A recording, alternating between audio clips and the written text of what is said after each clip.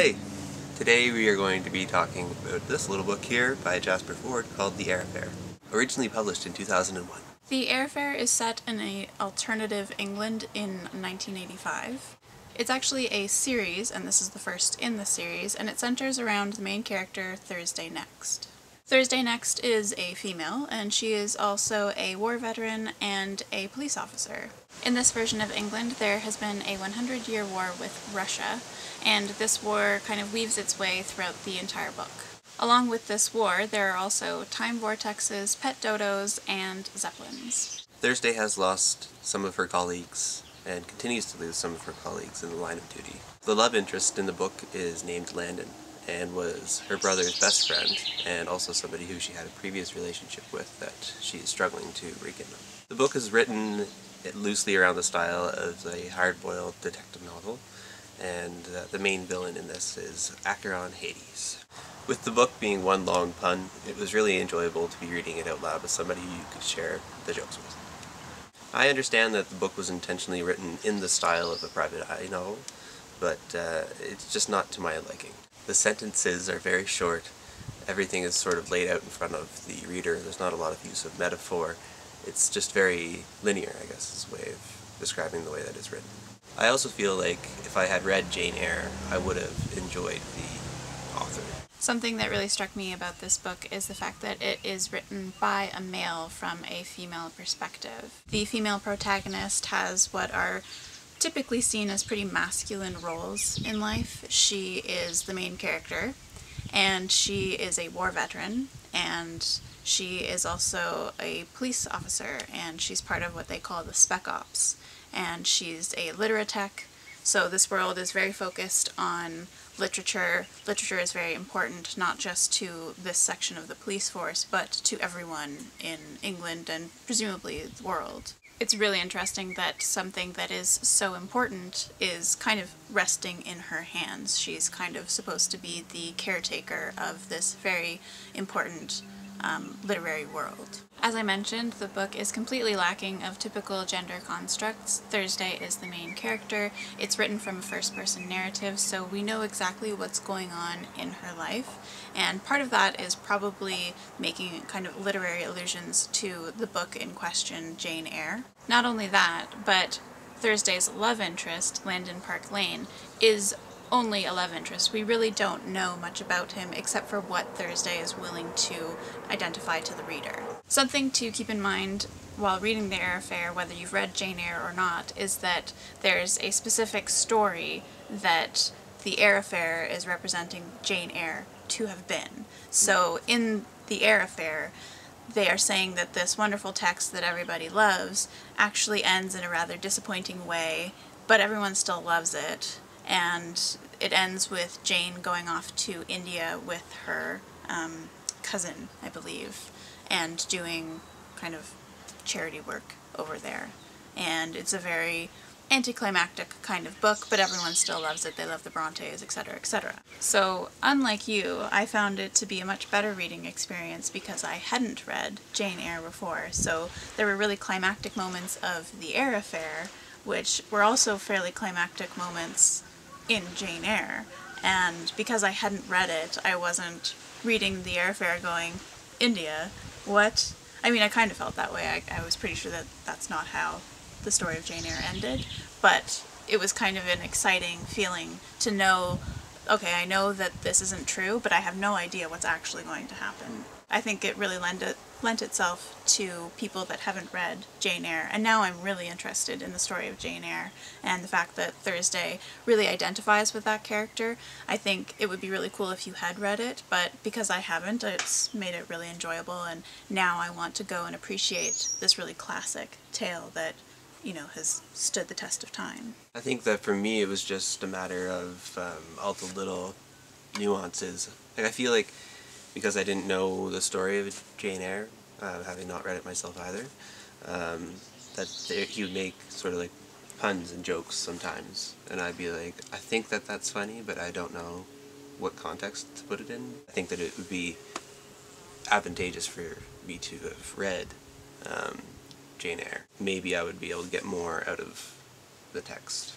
I disagree. I think that as you said, it's not a very difficult read. Um, it's not really working your brain in the sense that there's a lot of metaphors, not that metaphors are that difficult to understand, but it's more stretching your imagination. Just the way it was written reminded me of watching a TV show. Is that a bad thing? I, it's not what I look for in my books. Like I think that Fair the, enough. I think that the medium of the book is such that it gives you, it should be able to give you like such deeper understanding of the material.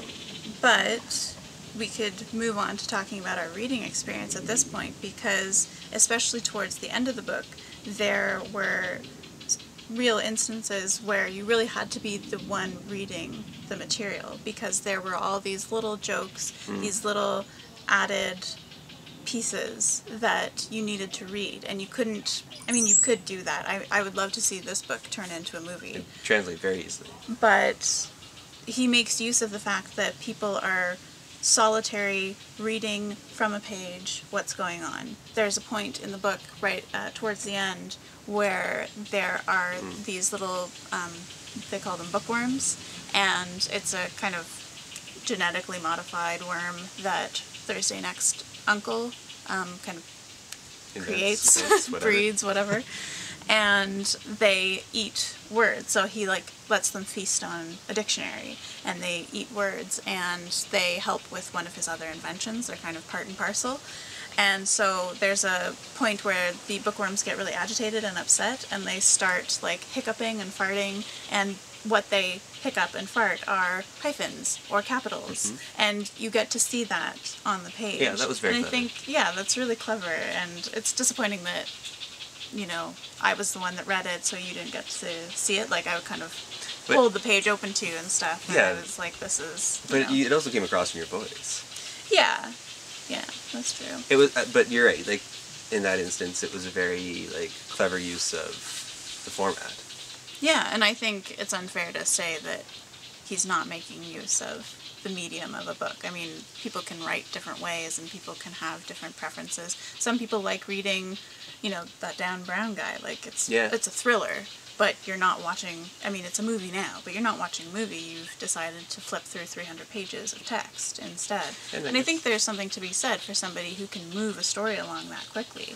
Like there's just constantly action going on and and yet these characters are very well developed. Saying is that I've never been a fan of Tom Clancy or Well, neither have I. Dan Brown or that style of writing. Like uh, I don't.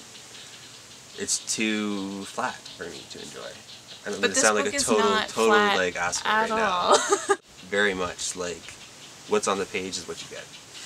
but that that can't be true because in terms of a deeper meaning, like there's time travel. There's so many crazy things that are normalized, and I think that might be why like you find it so lackluster because he's done such a good job. It's such a talent to say to a reader, "This is just how this world is."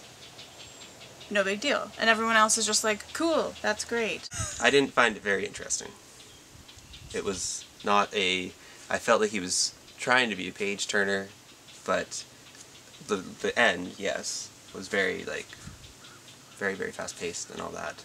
Um, and interesting concepts. I felt like there was a lot sort of like crammed into the, the last like quarter of the book, which made it very enjoyable. That part was wicked, but uh, I just didn't. I wasn't excited given the style, I thought I should be excited. I think I would recommend it to my mom because she really likes mystery novels.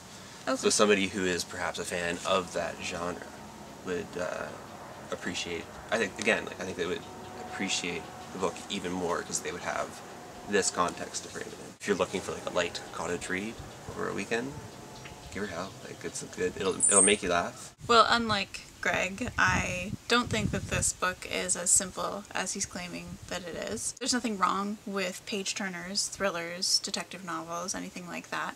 They're not part of my favorite genres either, but um, I find it interesting that you made that comparison, considering I, again, I haven't read any Tom Clancy, but I don't think Tom Clancy cares about the literary world in the same way that Jasper Fforde does. And again, not, that's not a problem, but I don't want to recommend this to people that are looking for a light read. Yes, it's quick, and there are light elements, but there's also a lot of serious stuff going on. And I think it would be a really good read for anyone that's looking for something that is fast-paced, but you do have to think about. Thank you so much for watching. You'll have to let us know whether or not you've read this book and what you thought of it. And if you haven't read the book, let us know whether you actually want to or not, who you're going to side with. Bye.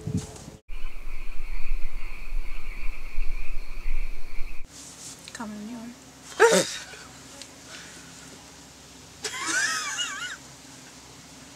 Yes.